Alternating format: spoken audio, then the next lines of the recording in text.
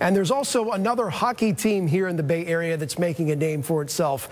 ABC Action News sports anchor Kyle Berger introducing us to the best college team you may not even know about.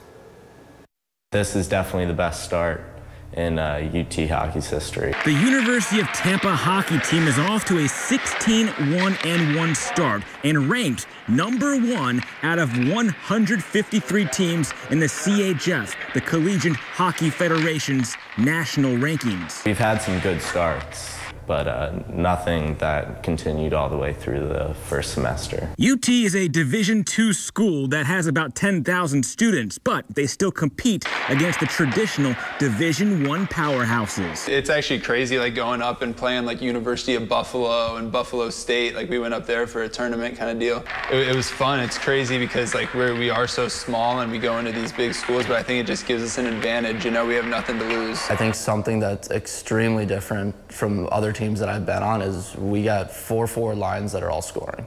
I mean, that's something that is really unheard of. The roster is made up of mostly student athletes from way up north with a pair of Tampa Bay kids sprinkled in. Coming from Minnesota and already playing on kind of a gritty up north team, um, we have a lot of skill level. We have a lot of guys that are fast, good hands, speed, can shoot. The Spartans have 16 wins so far this season. That means 16 times they've continued their locker room tradition of a freestyle victory rap. It's like we got a big speaker in here, right? 110 South Eddy, you know that's the spot. So everyone kind of gets excited, thinks they can rap, whether they can or can't. I love country music, so the song is good to me, but it's just like he talks about everyone on the team. We like made it together. An unbreakable bond on and off the ice. In Clearwater, Kyle Berger, ABC Action News. Sorry.